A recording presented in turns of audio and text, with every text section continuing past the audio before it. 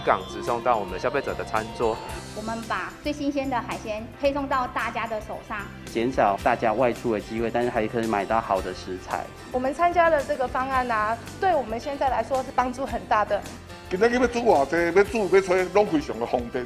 和咱的好的物件，咱的朋友都会当吃一点，让民众有一个无接触购物的实用性，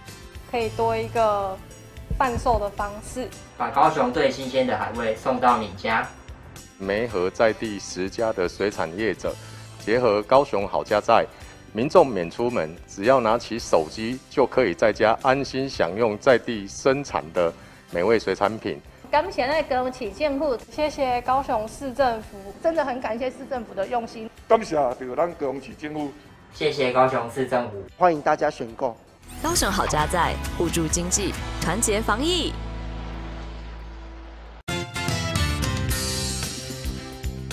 在弥陀种菜，早上会摘菜来这边贩卖这样。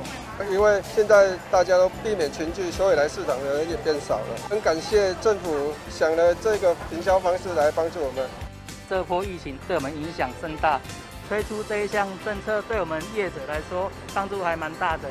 感谢那个市政府和农业局的帮助。市府与高雄地区农会跟凤山区农会一起推出捡好蔬果箱，由市场的人员直接到批发市场帮你 care 喝喝长等等。在凌晨三四点的时候集货，然后在当天就会直接送到你家，配合高雄好家在的小黄配送的计划，二十公里的运费直接由市府帮你买单。坊间的蔬菜箱，它里面都包含了运费。那我们这个方案，消费者的五九九跟六九九的方案，它是直接买在蔬果的部分，所以是最实在而且最新鲜的。高雄好家在，互助经济，团结防疫。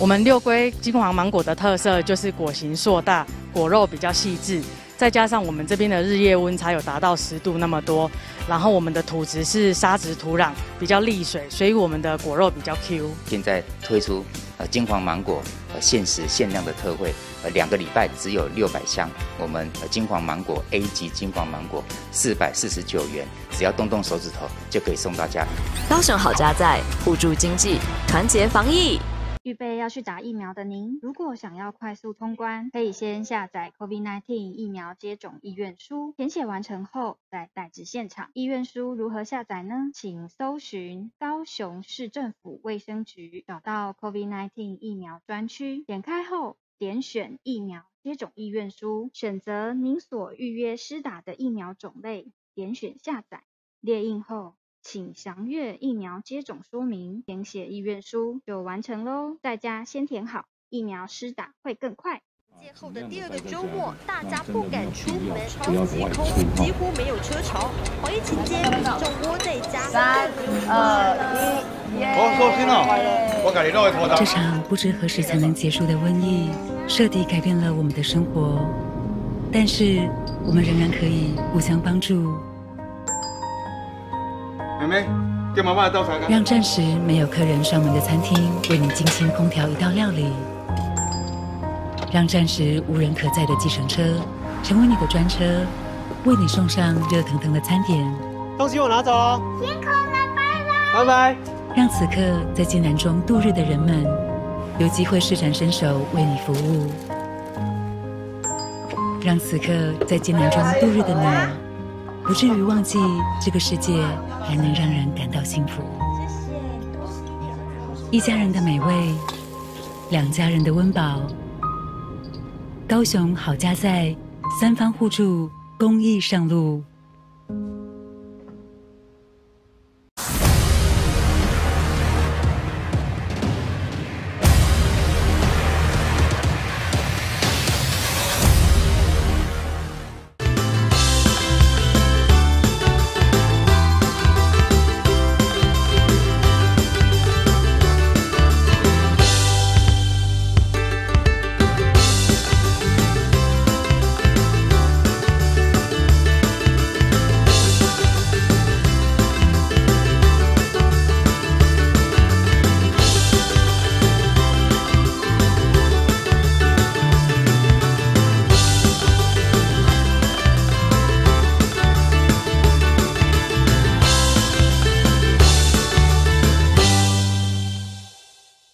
期间，大家在家减少出门，生意受到影响。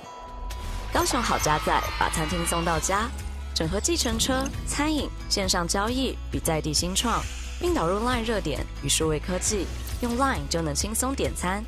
餐厅接单，小黄送餐，上千间餐饮只要线上交易满四九九元，就补助车资八十五元。小家庭两人以上大单外送的最佳选择。鼓励线上交易，不但落实防疫零接触，更帮助业者数位转型。车次补助一点五公里内免运费。高雄好家在，互助经济，团结防疫。好怀念去餐厅聚餐的时光。高雄市政府推出高雄好家在，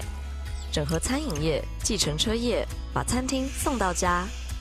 透过 LINE 热点，点击高雄好家在专区。或搜寻“高雄好家在”，就能找到近千家合作店家，许多高雄在地美食餐厅都已陆续加入。餐厅接单，小黄送餐，美食外送满额免运费，订单满四九九元，高雄市政府补助八十五元外送车资，在家享用美食，互助经济，团结防疫。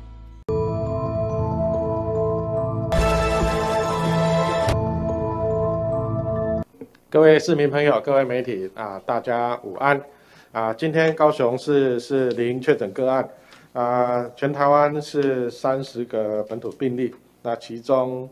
台北十一，新北十一啊，桃园七例啊，新竹市有一例啊。现在啊，疫情已经在啊所谓的这种社区传播阶段的一个尾声啊，所以我们会看到一些。啊，在北部地区，好，它是属于啊这个一些啊几个群聚的一个感染，好，然后也会啊因为啊这个南北的移动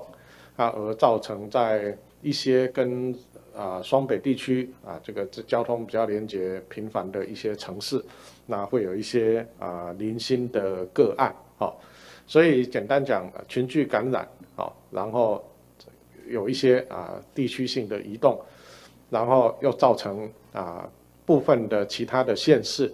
那因为啊在台北传台北方或者是双北北部地区的传染之后，那个案因为南北的移动，而造成其他县市，那其他县市个案假如啊这个未通报啊或者未裁剪，或者是没有疫调，那就会造成啊这个在家里面的家庭群聚。在职场的工作，职场的群聚，那所以啊，在以最后的这种零星的这种啊几个啊群聚感染的这个事件，那最重要还是要透过精准的疫调，那才能够把这些啊这个啊传染源好能够啊快速的来啊逆平。那当然最重要的还是这个这种群聚的感染里面，好，假如说啊能够啊尽量的。把这些群聚感染的啊范围啊能够掌握啊，也能够啊扩大的这个呃筛检好，那能够让比较容易造成啊这种外溢到社区的风险降低。那我想我们应该在这一波的这个传染啊会啊逐渐的来接近尾声。那所以，我们现在看到今天的个案三十个个案，比昨天的十六、十五在前一段的这个时间有稍微增加一点点，大概都是属于这种所谓的这种群聚感染的次波的啊，造成其他的刚刚讲的家庭或职场的啊这个感染。啊，所以我想我们会继续努力。啊，我想各县市政府现在在疫调的这个部分，经过这两个月。啊，大家也逐渐的啊，把这个疫调的工作逐渐能够把它落实好。那当然最重要的是说，在这个疫苗的一个施打好，那我们高雄市诶持续的在昨天已经超过啊二十五个 percent 的施打的一个目标好，那也达成这个当时啊中央政府啊行政院啊这个啊这个。包括苏院长，哈，在一直也在啊提醒地方政府必须啊加快地方啊施打的脚步，所以我们在下一波啊，总共有十五万人在高雄完成预约登记，啊，那我们设立了九百五十个站次，哈，社区接种站，啊一百一十七个，哈，大型接种站也有凤山巨蛋，还有高雄展览馆、高雄科工馆等等的接种站，哈，那这个也要拜托大家，就按照预约的时间，好，能够啊如期好前往接种。啊，我再提醒一次，就是说你假如是八点半到九点半。那拜托你，你不要全部都，大家都在八点半一次全部到齐，好，你就稍微分散一下啊。假如你的啊身份证号码可能是啊一二三四五六七八九，你只要是九的，那你就八点半到九点半，你大概是九点二十来，那就可以了哈。不要急着大家都在八点半，因为我在试打站的现场，我看一八点半啊一堆人就全部都冲进来哈。那好在我没有做啊很完整的一个准备啊。啊，但是这个要务必请大家啊，不用紧张，因为预约到我们一定会打得完，哈，也慢慢的啊，一定会让你啊，就不会赶，啊，就大家慢慢的来，哈，我们大概这几轮下来，啊，我们市民朋友也都非常的配合，啊，真的要感谢大家。那第二个就是说，呃，打完疫苗的时候，你假如觉得我们的防疫人员或者是我们的医护，啊，啊。这个大家都很辛苦哈，那也拜托大家碰到他们的时候，也要跟他们说声谢谢哈。呃呃，他们的能够大家跟他们多多鼓励啊，因为毕竟我也看到很多我们市府同仁啊，还有我们的医护同仁士气都非常高昂。好，那有很多位都跟我讲说，他们觉得他在公部门服务啊，或者是当医护，觉得说这次在打疫苗的时候，他觉得说他能够为市民那么直接。而且，那么啊，在大家最需要服务的时候，能够在第一线服务，他们都感到非常的骄傲。那我们的真的要谢谢我们所有医护同仁跟我们所有的市府同仁哈。那明天我们就会啊公布一些啊为解封之后啊会有一些啊管理的配套措施，跟我们一些啊部分的一些开放的。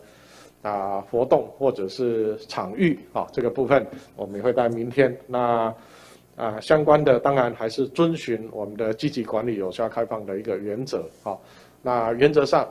在现有的台湾整体的疫情来看哈，那请大家也不要太担心啊啊。虽然有一些零星的一些个案啊，但是啊，诚如我之前也一直大跟大家讲的，假如我们能够把这个传播链。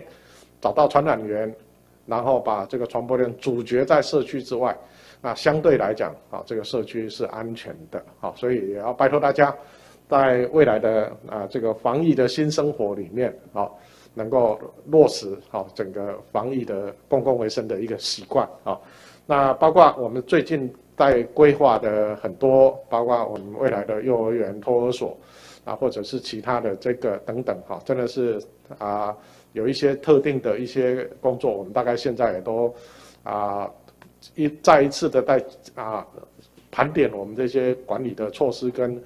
啊这个相关的一些啊防疫的一些工作啊，我们务必做到我们开放之后啊能够提供一个安全的一个啊社区来给所有的市民朋友啊。那当然这个过程里面也要大家一起来配合，大家一起来努力。那这个是。我们针对其中的一个个案，好像文化部所啊这个通过的啊，包括拍摄剧组，哈啊戏曲、酬神、表演艺术、流行音乐，好，那因为后裔的这些啊这个文化振兴，哈，那我们当然也必须在整个未来的后裔时代的这个相关的准备工作跟复苏，我们也必须。能够尽量的回复我们啊社会文化跟经济的活动哈，所以在这些开放的部分也符合我们的啊积极管理有效开放啊，所以我们高雄市政府在这里也要跟我们这些团体、我们文化界的啊朋友报告哈，我们除了啊会提供防疫的顾问啊，会请专业的我们公共卫生的专家来 review 啊，来啊这个检查啊，或者是。来提供好的建议，好给大家，好，所以大家不用太紧张，好。那我们也会公费快筛，免费的。那当然你要自费，那当然最好，好。那你假如觉得说啊，我是直接我给你验的边钱，好，我就提供这个服务，好，你这费用啊直接我来负担，好，你没烦恼，好。在第一次的这个快筛的这个部分，我们市政府会扛起责任啊，来帮大家免费服务啊。那假如有不太清楚的地方，哈，我看直接打电话最快了哈，就是零七二二二五一三六，分期是八八一八。那同样的，我们在各类别的团体的一个开放，或者是工作场域的开放，我们市政府都会啊提供免费的快筛服务啊。在第一次的开放，务必要让所有的市民朋友都能够安心哦。所以在这里也跟大家做说明。那另外，大家也关心昨天的那个有一个啊啊啊这个啊啊在高雄的啊个啊这个啊啊这个马来西亚籍的啊这个人士好，在我们高雄工作完好，然后回到这个马来西亚之后，那也啊这个有所谓的这个在。PCR 的检测在机场的筛检的时候啊，有阳性的反应。那相关的我们高雄，那有可能哈，虽然它到底这个阳性好，我们昨天也跟大家报告，它有可能在整个它回去的路径，病毒的暂存好，从不管是呃马来西亚的机场、飞机上、台湾的交通工具、台北的友人到这个高雄都有可能啊。啊，这个当然是对于啊整个保从检验、裁剪好到啊这个交通好到啊这个在高雄的这个环境，这些都有可能是造成它 PCR 检测啊呈阳性反应好的个案。那我们当然是料敌从宽，超前部署哈，把所有的高雄的有可能的这个部分，我们已经盘点过一次哈。那检验的报告。跟最新的结果，我请潘基正也利用这个机会来跟大家做说明。是，谢市长。那各位市民朋友、各位媒体朋友，大家午安，大家好。关于本案，在我们昨天呃，在接获这位个案主动跟我们联系之后，我们就启动必要的一些疫调、还有框列以及检验。在整个疫调过程中，那有密切接触者九人，有中介一人外参，那这里面包含中介，还有同事，还有还有呃民间跟他往来比较密切的友人。那非密切接触者就一般接触者两百一十六人。那在这两百一十六人当当中，又有区分同办公室或者是一般在同个职场里面，还有外包厂商这个部分。那诚如刚刚市长提点的，其实在整个过程里面，除了我们要确认他。啊，是不是有传播风险？如果万一他真的是啊，诶确诊 阳性的话，那我们要确认他有没有传播风险。第二个，我们要确认他从哪里来的状况。那我们回顾在过去的一些呃足迹里面，哈，经过我们昨天的检验，确认两百二十五个全部都是 PCR 阴性。那这两百二十五个全部都是 PCR 阴性，也经过我们昨天晚上的专家小组会议进行讨论，那研判。整个的呃感染风险是相当的低，哈，相当的低。那为什么会有这样的一个状况？我们再看看啊，在我们疫调里面的时序图。基本上，我们先先就七月十四号这边进行呃说明。七月十四号，他个人在啊当天进行裁剪，结果是阴性，所以基本上在整个传播风险上面。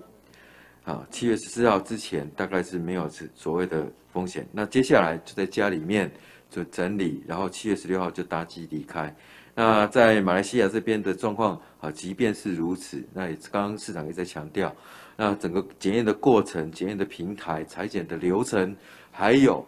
包含判读的标准这一些等等的。跟台湾这边的啊，并不尽然相同，所以这样的结果，基本上我们很感谢啊，这位呃郭小姐有这样的通知，那我们也会参酌。那更重要的是，我们也会啊秉持着啊料敌从宽、超前部署的这个原则，去尽我们最大的力量去进行必要的一些部署。以上报告。好，谢谢。啊，我想我们刚刚潘基正已经简单做说明啊。那昨天的专家会议也从他的包括实验室的检查，包括整个啊这个疫调啊，包括啊这个包括啊在整个实验室的检查啊，那这个部分也请所有的市民朋友放心啊，啊因为他我们一般在看他的传染率大概是以他发病的前三天啊，那什么叫发病？就是他有症状啊。但是这个个案从十六号的裁剪哈到到呃这个十六号到今天都没有任何症状。那换句话说，假如以这个十六号的裁剪当成他的啊症状的发展的前三天，大概是在十四号左右。那这一天这几天，他都是在家里面啊，或者是职场，他可能的接触者我们也都框列，他没有其他的这个呃这的这个所谓的这些呃很大的一个活动的一个范围哈，所以这个部分一定要能掌握啊，确切掌握。啊，他也没有任何的其他的传染的风险，所以我们的判定，他在这个个案的他的传染的风险是非常低啊，这个请大家放心。好，那其他也不晓得各位啊有什么问题？好，市长，您是想请教，那高雄有居家保姆反映说，他们配合政府的政策和家长需求，在继续收托婴儿，但是还没有接到施打疫苗的那个通知，那不知道是否有没有相关的规划？我是不是要请这个黄局长来做说明？好，是的，谢谢市长。那这边做一个说明，呃，对于我们的保育员，就是我们的保姆的部分，那在高雄市部分，我们已经做相关的一些规划。那居家保姆的部分，那这部分我们已经在积极的筹划当中。那相关名册已经造好，那呃安排好就会一定通知，马上就安排相关的一个试打。以上，谢谢。这个请我们所有的保姆放心，好，啊，我们在下个礼拜，好，因为呃接下来是五六日，大概都是在社区接种站，大家都会很忙，好，在下个礼拜开始，我们就会来安排试打。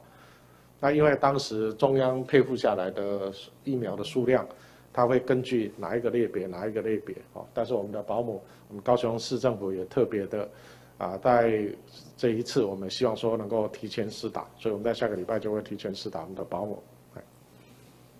好，市长，东升想请教，那高雄市有一名男性，那他病三十四岁的男性，他也他自认为不是第九类或第十类的人员，但是他透过预约登记系统已经完成了疫苗的施打，那他的他则是透露说，他有一次看病被诊断为有高血压性心脏病，那无心脏衰竭。所以这一种病史是不是让他被归为第九类？想请教一下。好，那个请潘记正说明。是，谢谢市长，也谢谢提问。那我想在整个预约系统里面，据我们的了解，那分成啊，也一样是对应中央流行疫情指挥中心规范的九呃的一些呃类别在接种。那第九类的部分，好，那是特别是感染后容易产生严重并发症或导致死亡的这一类。那这个在十八岁以上。好，只要有发生过类似的一些诊断嘛，在我们预约的时候，经过勾稽确认曾经有过，那就归类在第九类。因此啊，可能在呃这样的一个系统上面，好，在这位三十四岁的男性，所以被因此而归类成为啊这一次可以接种的对象。那这部分我们相信，在整个系统里面，还是会因为。啊，这样子的一个风险，然后去优先类别去进行归类，不是单纯的就是依照年纪来排序。以上报告。这个我们在上次已经有跟大家报告哈，虽然啊这个这这个年龄啊是从这个由上而下这样排序，但是有一类的是啊，虽然他年龄比较轻，就像这个个案一样，但是他有一些 ICD 的分疾病分类里面是属于。啊，高风险的这个族群的部分，这个也是优先的一个项目，哎，所以在预约的系统里面，这些它是可以预约成功的，哎，这个我们在上次呃第二轮的时候我们就做过说明，那个详细的疾病分类在我们的卫生局网站都有，哎。好，市长，TPBS 东升跟踪室想请教，那高雄有某防疫旅馆哈，那有一群男子他从伊斯坦堡回来之后。那么在二十一号住在防疫旅馆的期间呢，偷溜出门，啊五人群聚开趴，那不知道是否相关的查证为何？那是否会开罚？好，这个潘局长说明。是，我想依据我们的收到的一个市政，好，我们会厘清到底在，呃这样的过程里面，那如果说有一些呃违反居家检疫离开。呃，指定的居住处所离开房间的时候，我们一定会开罚。那基本上罚则是十万到一百万。那如果说在呃整个的呃群聚的事实里面要进一步能确定的话，那不管是在任何的场域，只要有这样的状况，我们也会依法开罚。那最重要的是违反居家检疫这个部分，我们一定会将他啊送到集中检疫所这里进行集中检疫。那接下来的啊这个程序我们会立刻进行。以上报告。呃，这个因为问的问题是说某某防疫旅馆了哈，这个确实有一件个案啊，这个已经开罚而且送防疫旅馆。我们高雄市的规定就是这样，啊，你假如不遵守防疫的规定，那就是没有任何人例外啊。这个真的也要拜托大家啊，在整个防疫的过程里面务必配合啊。好，是的。No News 想提问，那市长昨天有送医护、医疗院所或区公所等等哈的前线人员哈能量饮料跟那个巧克力哈，所以有医院的粉砖就贴出感谢文说啊会这个巧克力是甜到会蛀牙哈。那想请教市长说为什么会有这么感心的行动？我想啊我们的医护同仁，我也还有我们的防疫人员哈啊都我真的是让。我啊，还有很多的市民朋友都非常的感动啊，像啊，昨天我看公务局的同仁哈，他们要负责这个啊，我们的市民朋友进来的时候要啊帮他们服务，要帮他们带队啊，让他们能够很快的找到地方啊，能够啊尽速的施打疫苗啊，有一些人啊真的都非常的辛苦啊，啊，我们的医务同仁也是一样啊，虽然有一些施打站啊是。有冷气啊，但是这个隔离衣穿着的时候，其实里面全身都是汗啊，真的是在我们这次防疫的过程里面啊，也是因为每一个我们的医务同仁都啊都在这个啊高雄市民最需要他们服务的时候啊，他们都能够奉献他们的心力哈，所以我我真的是呃非常非常的谢谢他们哈，我想。啊，不管是巧克力啦哈，或者是我们的医护津贴，啊，或者是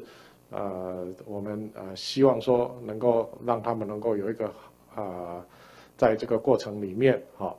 啊，我们也希望说能够尽量的，好让我们的医护跟我们的防疫人员，哦，大家都能够啊，在这个过程里面哈，来能够让我们能够有机会向他们表达感谢，我们都都。觉得很乐意，哈啊，也要拜托所有的市民朋友，啊，碰到他们的时候，真的要跟他们说声谢谢，哈，因为疫苗的施打，我们现在已经达到二十五个 percent，哈，那至少这个要达到七十五个 percent，哈，所以我们要最快速的时间，能够把疫苗打到市民的身上，啊，这样才能够有群体的免疫，啊，所以真的要谢谢所有的医护同仁，还有我们所有的防疫的。同仁真的要谢谢他们。好，市长还有两题哈。那 TVBS 想补充提问，就是说，在高雄有一些像救国团这一类的补教业者的老师哈，那那我们有没有统计他们有多少人还没有造册？那什么时候会完成造册？我请潘继正说明一下好吗？是，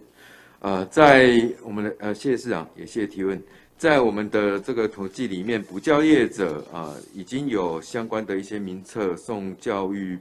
局、教育部。那这个部分呢，啊，据我们了解是陆续在安排当中。那这个部分会依据我们疫苗的一个啊，中央流行疫指挥中心疫苗的到货速度，然后疫然后分批会进行接种造册。那但是在目前啊，中央这个部分相关的疫苗以及名册尚未核定。以上报告。这个目前正在造册，哦，那程序上就是造册，然后教育部核准之后就会配发疫苗下来，哦，那我们就开打，哦，所以我们现在也是呃在全力的在造册当中，也要谢谢说我们的补教老师，呃很辛苦，好，那我们也希望说，那能够尽速的啊，在整个啊未来未解封的时候，能够迅速恢复到我们正常的一些生活。好，市长。年代一电视提问啊，那